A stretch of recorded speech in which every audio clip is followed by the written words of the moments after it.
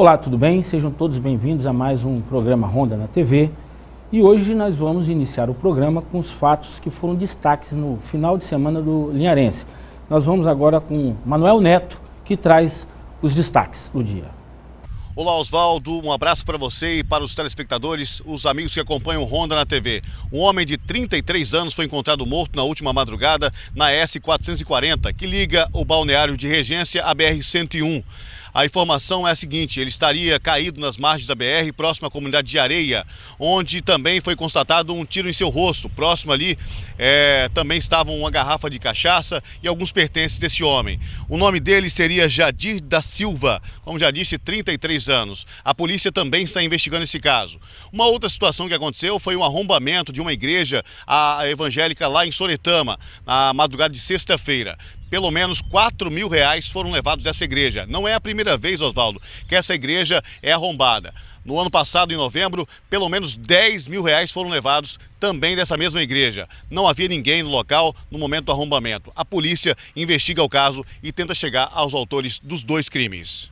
Obrigado, Emanuel Neto. Mas agora nós vamos a um, uma divulgação de lista de procurados fornecida pela polícia de Cachoeiro do Itapemirim. Vocês prestem atenção porque vocês podem ajudar a polícia.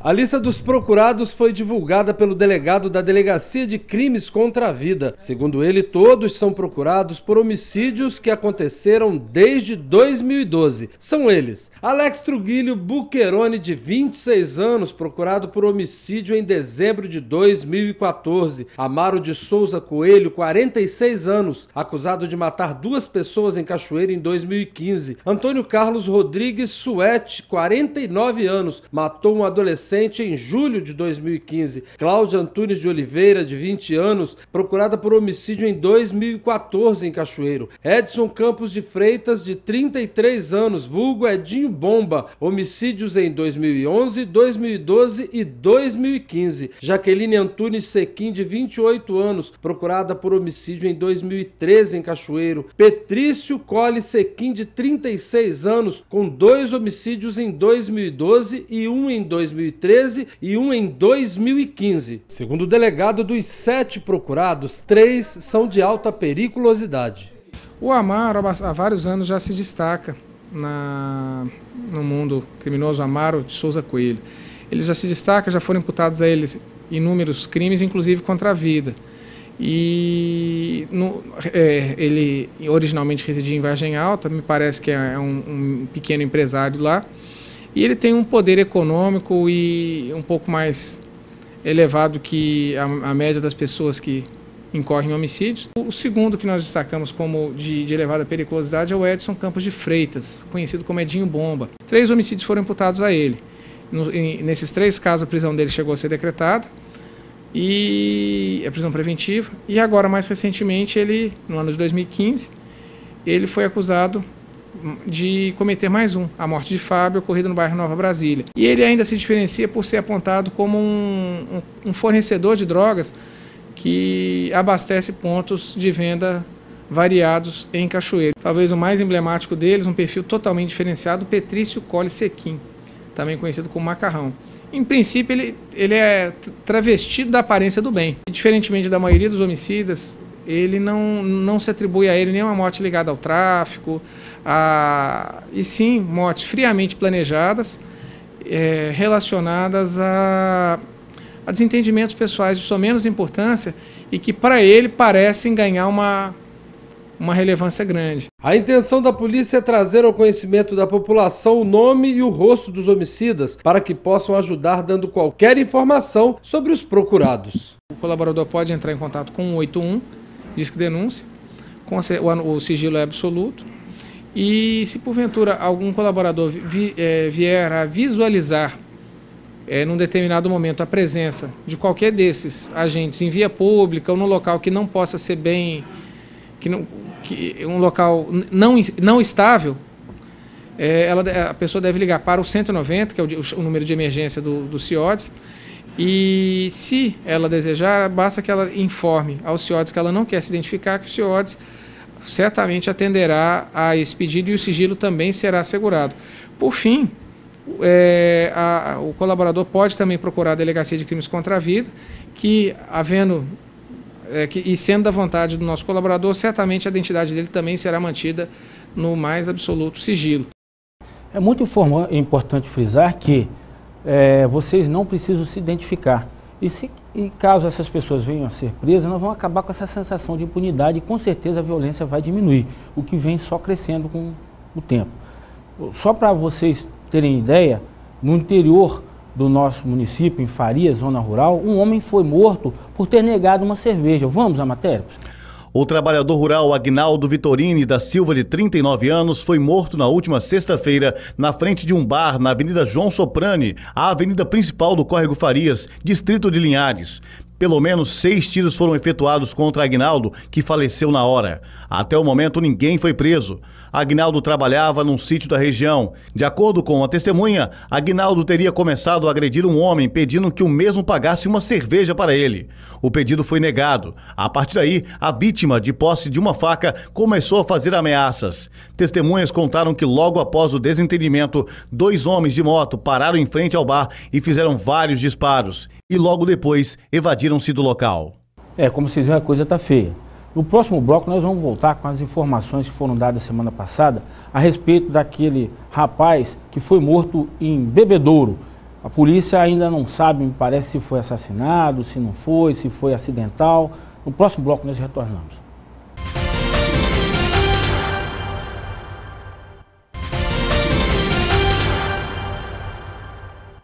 Agora sim, vamos ver o que a polícia tem a dizer a respeito do rapaz que foi assassinado ou que foi encontrado morto em Rio Quartel. As circunstâncias da morte do pequeno Redley Conceição de Souza, de 10 anos, ainda são um mistério para a polícia. O garoto foi encontrado morto com um tiro na cabeça dentro de uma casa na Rua das Flores, em Rio Quartel, distrito de Linhares. O caso aconteceu na noite desta quinta-feira. Na hora do disparo, segundo vizinhos, o menino estava dentro de casa na companhia de outro menor, de 17 anos. A avó do adolescente contou que chegou a ouvir o tiro. Estavam os dois dentro de casa, eu não sei se pularam a janela, porque eu não vi eles entrar, porque eu estava de costa varrendo o terreiro, varrendo o quintal. Aí eu não vi, eu só vi a explosão. Eu pensei, ué, soltando bombinha dentro de casa, mas não foi bombinha. Dizem que o menino pegou a arma, eu não sei se foi na mão deles ou na dele, e disparou. Aí ele falou, matou o menino de luça, o chupeta morreu. Eu falei, é brincadeira, quando eu vi aquela tragédia, comecei a ter que passar mal, minha neta me segurando, me dando água doce. Para este morador, a criança pode ter sido assassinada. Pai, ele foi preso, o irmão dele também está preso. Eu acho que foi porque é mesmo, não foi incidente, não.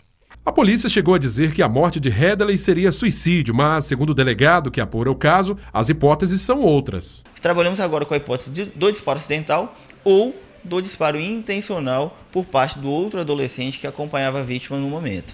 O adolescente que estaria com a vítima na hora do disparo está foragido e o depoimento dele, de acordo com o delegado, é muito importante. Apesar de só estarem os dois no interior do cômodo no momento do acontecido, o depoimento dele vai ser analisado em consonância, em conjunto com o laudo pericial e com o laudo cadavérico, para verificar se há verdade ou não nesses argumentos. Nesse momento, nós não queremos trabalhar com achismos, né?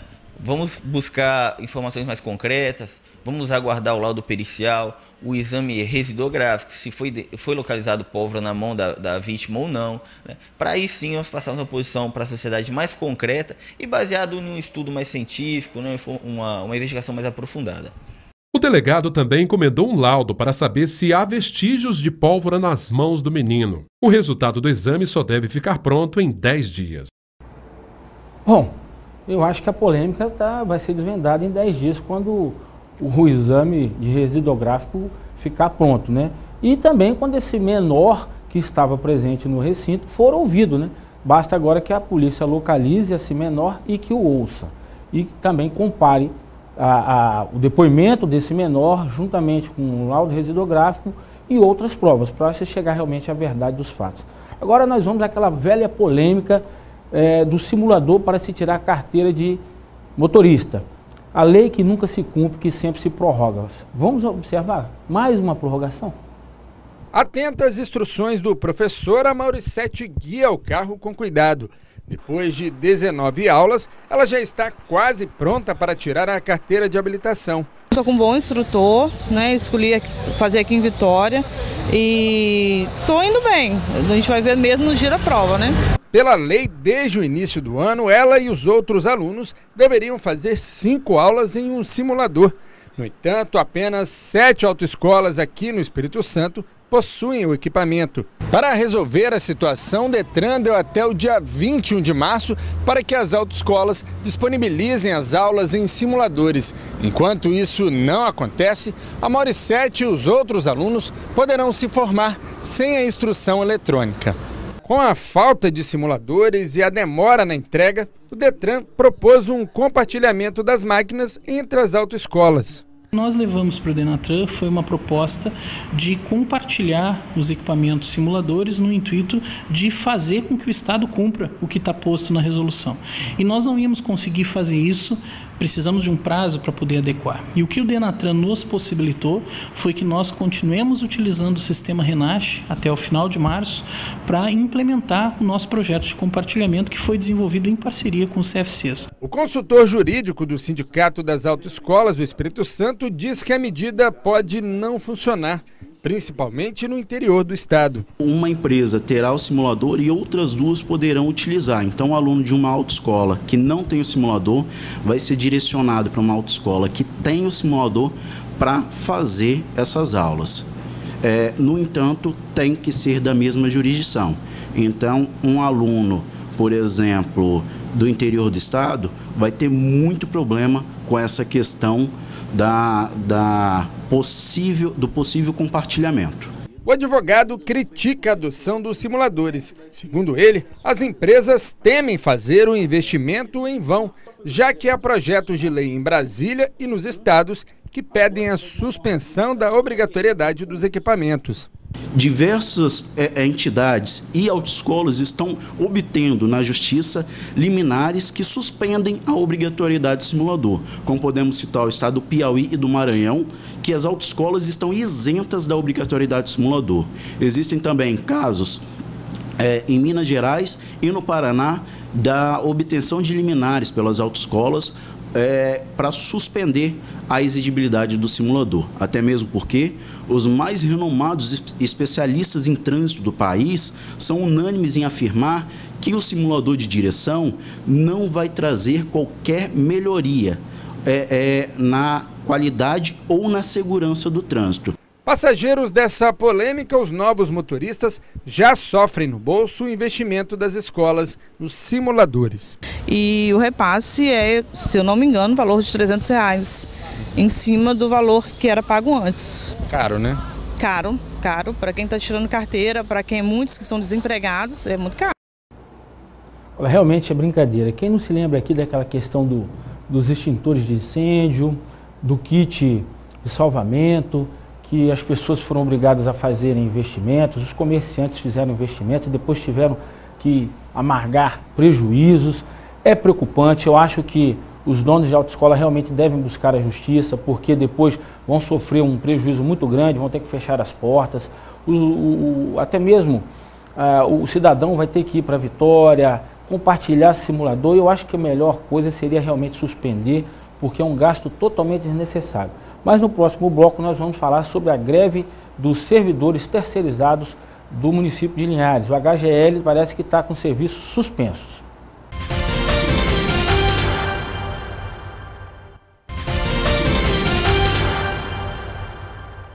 Agora sim, a matéria que fala a respeito da polêmica do ticket refeição para os funcionários terceirizados que prestam serviço para o HGL. Insatisfeitos, o seu sindicato decretou greve os serviços de limpeza do Hospital Geral de Linhares estão paralisados temporariamente. O trabalho de higienização é de suma importância para o funcionamento da unidade hospitalar, levando em conta que vários pacientes internados ou que são atendidos no local dependem de um ambiente desinfetado para não correrem o risco de contaminação. Os servidores da empresa terceirizada que faz a limpeza do Hospital Geral de Linhares cruzaram os braços nesta manhã de segunda-feira. A principal reivindicação deles é o ticket de alimentação que não caiu em suas contas. Segundo o sindicato, os servidores ficam até 12 horas sem se alimentar. O representante da categoria esteve na frente do hospital e diz que já foi feita uma representação contra o município e contra a empresa. Pelos trabalhadores não ter recebido ainda o ticket de alimentação deles, que seria proveniente para eles se alimentarem para trabalhar. Desde que dia vocês não receberam esse ticket? Seria no quinto dia útil, o dia 5 de fevereiro, que é do mês de fevereiro, ainda eles não receberam. Você me informou também que existem trabalhadores que ficaram aí até 12 horas sem alimentação por conta da falta desse ticket. Isso, porque eles têm uma escala 12 por 36, eles trabalham 12 horas e esse ticket por 12 horas deveria se alimentar com ele. Você já notificou a empresa responsável e também ao município por conta dessa falta do ticket e a paralisação de vocês hoje? Na sexta-feira eu fiz a notificação ao hospital e fiz a notificação para a empresa com prazo de 72 horas para que eles pudessem dar uma solução para a gente. E eles não deram resposta ainda. O diretor disse ainda que é desumano ficar quase 12 horas no trabalho sem alimentação. Mas é desumano mesmo. Um absurdo. Em contato com a empresa, ela não atendeu os nossos telefonemas e a prefeitura, apesar de ter sido solicitada, ainda não enviou nota a respeito dessa situação. E uma nova, a mesma polêmica, aquela questão do minério de ferro lá em Vitória. Agora, a, me parece que está havendo contaminação na areia da praia. Vamos à, à reportagem? O cenário é lindo, a água transparente, mas alguma coisa está errada nesta praia. E eu não estou falando do tempo nublado. Desde o carnaval, a areia da praia da Ilha do Boa, em Vitória, mudou de cor. Ficou preta e os banhistas, com medo, sumiram. Na curva da Jurema, que fica ao lado, também é possível ver que a areia está suja. Esse técnico em enfermagem que frequenta as praias da região se revolta com a sujeira. Minha namorada mesmo ontem mergulhou aqui, ela não mergulha já em Camburi, há um tempo não entra, porque ela tem alergia ao minério. Ela, ela mergulhou aqui, coisa que ela nunca teve, que foi coceira, saiu coçando da água. Eu tive que pegar água doce e jogar, dar um banho nela de água doce. Então isso aí é triste pra gente que está aqui sempre. Na cidade que respira o pó de carvão e de minério, a poluição parece não ter fim.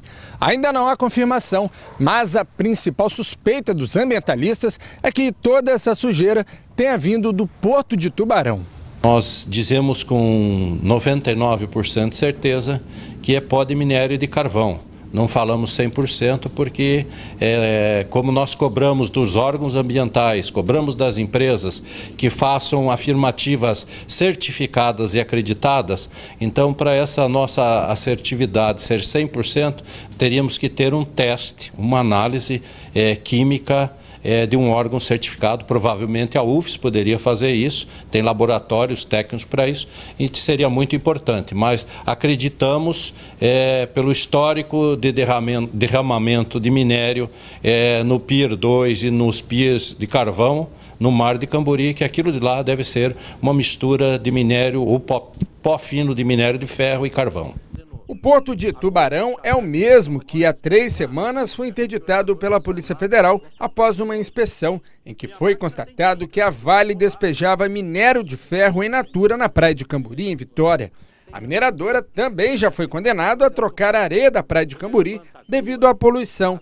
E nesta semana, o Instituto Estadual do Meio Ambiente, o IEMA, multou a Vale em 6 milhões de reais após vistoria que constatou o derramamento de minério e de fertilizantes no meio ambiente. A gente fica também revoltado porque a gente que pesca, que, que usufrui mais da, da, da natureza, do, do, do, ambiente aqui, a gente vê quanto que está degradando a, a, vida marinha é, é, é e está tendo queda, né? E o pessoal não está se atentando para isso. Eu acredito que o IEMA vai se manifestar, acredito que devem ter feito coletas aí desse material e vão mandar aí para perícia, né? É o mínimo que se espera. Realmente é muito preocupante, o ambiente está sofrendo grandes, grandes, grandes perdas, né, grandes prejuízos e isso é a população que sofre mesmo. Bom, o Ronda da Cidade fica por aqui e até amanhã, se Deus quiser.